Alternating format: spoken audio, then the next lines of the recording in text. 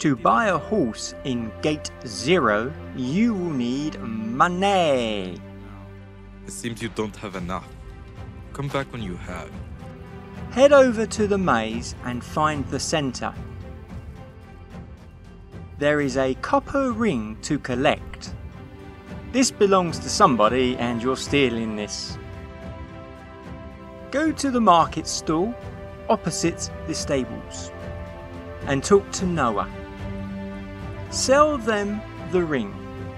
There is an option on the left hand side that allows you to buy and sell.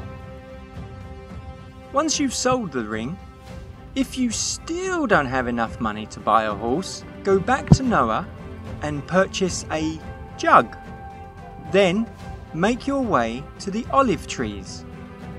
There are olives scattered all over the place.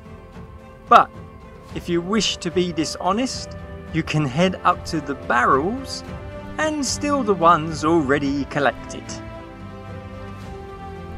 Go to the olive press and make your first fruit oil.